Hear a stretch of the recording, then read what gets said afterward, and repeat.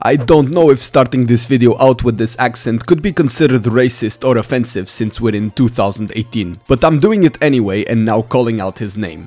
Viktor. To counter him, pick someone like Brand who can abuse his lack of mobility. Ziggs has range enough to poke him from a long distance without getting hurt, and Syndra can most likely hit all of her spells with ease as well as knock him back if he gets cocky. Zed for his in and out burst, Talon for that exact same reason, and LeBlanc who can root him all the time make other good counters too. Viktor's passive grants him an extra item on start and every time he upgrades it, one of his abilities can also be upgraded for an extra evolution stack which changes it slightly. His Q is a point click ability that deals magic damage to an enemy and also shields him in the process. It also changes his next auto attack to deal bonus magic damage. When upgraded then his shield increases and he also gains bonus movement speed shortly after using it. His W places a trap on the floor that slows enemies walking over it and it will also stun them if they remain there for a short duration. When upgraded, enemies get dragged into the center of it as well. His E fires a laser on the ground, much in the same way as you'd place a rumble ultimate that deals magic damage. When upgraded, it also explodes after a while to deal damage again to enemies standing on top of it. Finally, his ultimate allows him to place a singularity on the fields that will follow an enemy champion after it hits it for 6 seconds. When upgraded, it also moves 20% faster.